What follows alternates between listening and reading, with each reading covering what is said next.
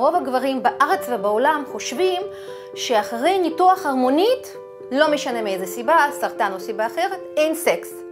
אני, דוקטור רנה גלוחוב, אומרת לכם, יש סקס. מאוד יכול להיות שהוא גם יהיה יותר טוב מאשר הוא היה קודם.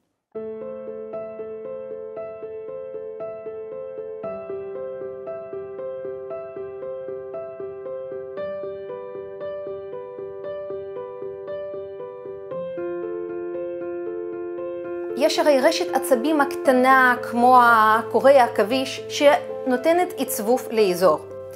רשת הזאת במהלך הניתוח היא נפגעת.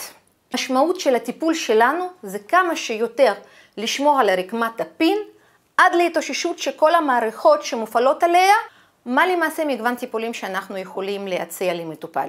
יש תרופות, תרופות שבן אדם צריך לקחת כל יום על הבסיס קבוע, תרופות שהוא ייקח לפני פעילות מינית. דבר השני שעומד לרשותנו על מנת ללכת עם המטופל בהליך השיקום זה זריקות. מדובר במזרק מאוד קטן, במחט שכמעט ולא רואים. לאף אחד מאיתנו לא הייתה בעיה לקחת חתיכה של האור להזריק. אותה זריקה 20 סנטימטר יותר נמוך, אין פה משהו מסובך. יש חומר, מזריקים לתוך האיבר, והזקפה מתוך השפעת החומר, הזקפה פשוט מתרחשת. לא צריך לזה לא גירוי מיני, לא להיות במוד, הזריקה לא כואבת. דבר פשוט כזה שנקרא מכשיר ואקום.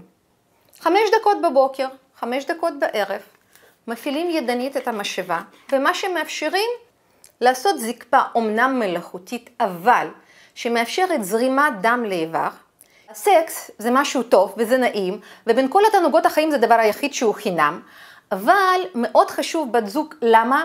כי אנחנו כאן לא מדברים על ההנאה, אנחנו מדברים על ההליך שיקום רפואי, ומאוד חשוב שגם הבת זוג תבוא עם הדרישות ותמיכה בהתאם למצב.